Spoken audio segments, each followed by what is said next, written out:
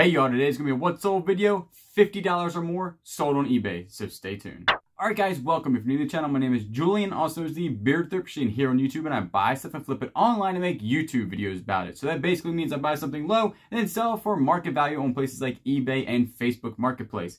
So if you are new to the channel, welcome. If you want to, go back and watch some of my other videos. This is a reselling channel. If you do like the content, always remember to subscribe, comment down below, like the video, so let's go ahead and get started. I think this is going to be 15 what's sold on eBay, $50 or more, and they're not all golf clubs, so that's pretty good. So without further ado, let's go ahead and get started. The first one's going to be a good one. I always talk about Sony Handycams, but just know there are other cameras out there that fetch a lot of money that are like those little camcorders. This one right here is a Canon ZR100, ZR100 Mini DV stereo camcorder. It went for $135 and the buyer did pay shipping on this. And then it's always good with these uh, cameras even, and with the Sony Handycams if you have the cables with it that hooks up to the TV. If you have the manual, that also helps. I, I think a case helps. And then also if you have any blank tapes, I think that also helps. I usually bundle all that together and they always go over about a $100. This one was super good, 135 bucks. And as I remember, this sold within a week. So definitely a fast moving item, but I think it helps when you bundle things if you have that ability.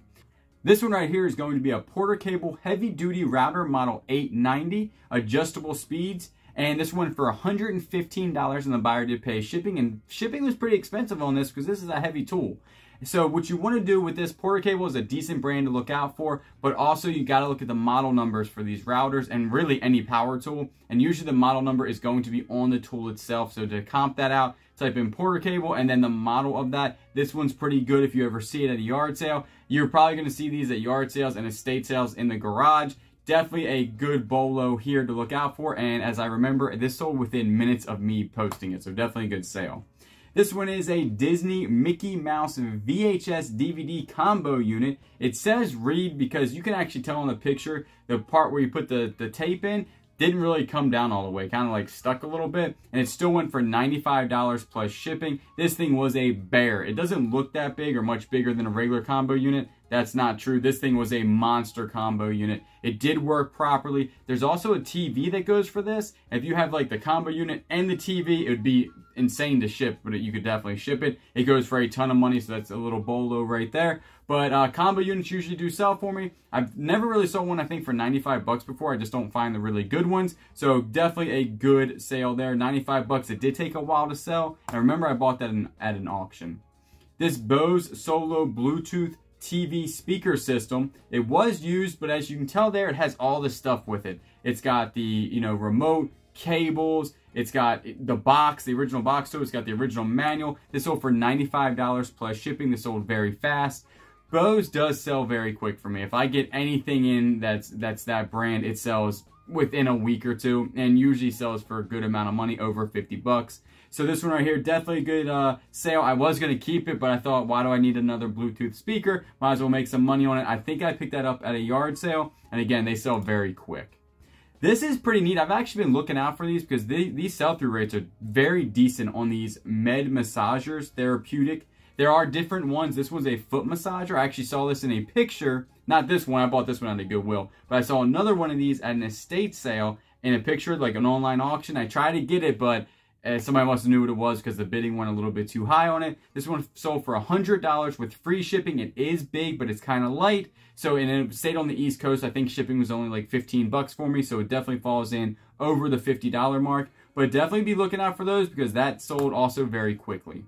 This one by far is my favorite tennis racket to sell. This is Babolat, and I'm telling you right now, every time I see one of these, I get excited because they usually all sell no matter like if it needs a grip or whatnot, they usually sell for over 50 bucks. This one was called a Pure Drive Team Woofer tennis racket.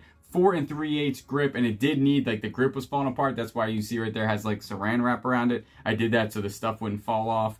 And uh, definitely a good brand to look out for. Definitely a big bolo. I used to find a lot of these in the thrift store. I do not find them anymore. Like maybe six months, eight months ago, they were a ton in the thrift store. I used to go in and buy two at a time and make 150 bucks real quick. I have never found those in thrift store in six months, but I still find those at uh, yard sales and estate sales pretty regularly because people are getting rid of them for cheap because they're older tennis rackets, but they still fetch a really good amount of money. This one right here, I didn't share a lot of my N scale uh, train sales just because I had a lot of them. They were all the same, but I did want to share, uh, you know, one today. And this one was the Atlas N scale SD60M CSX. And it has like the numbers there, what it was on there. And it's the locomotive and went for $78 plus shipping. These N scale trains, the locomotives were between 50 to $150 like per locomotive and then the little cars were about you know 10 to 40 dollars so definitely i learned a really good lesson on these trains so be on the lookout for these things comp them out correctly but they do sell usually uh, they sold very quickly and they all sold for like a good bit amount of money this one right here, everybody usually knows about the Canon like A1 and, and other cameras like this. I didn't know about this camera. This is a Pentax K1000. 35 millimeter camera. It came with three lenses there. I usually, if I buy these, it's always uh, kind of like in bulk at a uh, garage sale or yard sale. It usually has different lenses, so I always put those with that when I sell it. And this one went for $56 plus shipping. And had, I put up on auction actually, and I think the auction I started at 45 bucks, went up to 56 plus shipping. So pretty good camera there. And I usually try to pick those up for pretty cheap at yard sales, like 10 bucks. You know, that's where I was on that one because you never know when you get it home, you start cleaning it, if something's wrong with the lenses, so I always try to pick those up super cheap. This one right here is going to be a Garmin eTrex 10 2.2 inch handheld GPS receiver. Anything Garmin that looks fairly new, I always comp out. This one had uh, in the box, it had the cord, it had the manual there. It still had the plastic thing on the front, so I'm thinking this is brand new, but this is definitely an older model. I got it for, I think, like five bucks at a yard sale, sold very, very quick on eBay. And so for $65 plus shipping, I'm always comping out Garmin's. That is a really good brand to look out for. I've sold Garmin GPS units for like handhelds in cars. I've also sold, I'm pretty sure, a fish finder that's Garmin also that had a GPS in it. So definitely a good brand to take a look for. This Orvis corduroy collar Barnfield jacket, it was a large quilted green coat. Did go for $55 plus shipping. I really don't look at Orvis anymore unless it is like a jacket or something special. But this one right here I wanted to share because the brand still brings some money. So it's, again, bro, 55 bucks. That's like four bucks at the uh, Goodwill. Turn it into 55 plus shipping. But it did take a long time to sell, probably about six months. This one right here I want to share just because recently I've been lotting up a lot of stuff that isn't worth like a whole bunch individually and I do fairly large lots on eBay and then I just do an auction for 10 days and I post the uh, you know the listing, the auction price, the starting price for what I'm willing to take minimally. So this one right here I think I started at like 30 bucks. I think it went to 50 with two bids plus shipping on that one right there. And uh, so that's like been my strategy. I also did it with a couple like golf items that actually worked out really well, made more than I actually thought because there was nothing, there was no, you know, things like this on eBay, large lots of unbranded router bits. So definitely the lots have been working out for me. I'll continue to do that. And I always put them on auction. I never do a buy now when it's a whole bunch of stuff like lots.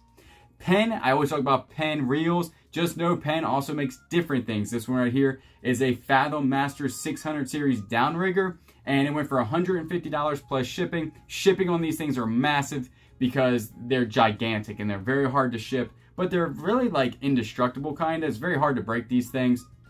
They're just really hard to ship. So uh, I picked this up at a yard sale for very cheap just know that Penn makes other items, so when you see that name where it says Penn Reels on it, and it's something that looks a little weird, you might want to comp it out because it might be worth some money.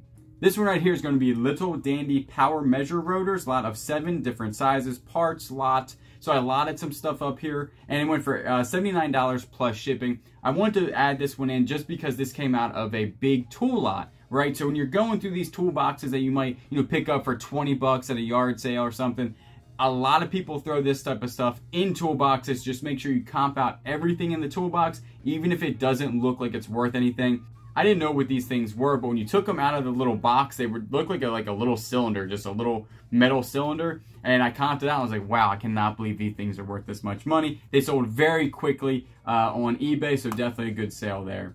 And here's a putter. I want to add this one because it was a Titleist Scotty Cameron. If you do not know that name, know that name when it comes to golfing. This guy, I mean, I, we, me and Kayla were just looking at the uh, golf bags, the most expensive golf bags that were sold on eBay, a lot of them are Scotty Cameron golf bags. You're talking thousands of dollars for golf bags. So anything with his name on it, they do make fake stuff. Uh, but just make sure that it is legit and this stuff sells like crazy. His putters, this is a lower end putter because it's like older, but his newer putter is easy two, three, four, five hundred dollars. So know that name, Scotty Cameron. This one was just a Titleist Bullseye, uh, 35 inch, had a really nice Titleist grip on it, went for 80 bucks plus shipping and took less, less than a week to sell. This one here is another putter and one of my favorite brands to find. This one's going to be a Ping Zing, but it's a Ping G2 Zing red dot right-handed putter. It had a really nice uh, grip on it. This thing was almost in like immaculate condition, and this did not last very long on eBay. I think it was less than a week. I think I had it though for like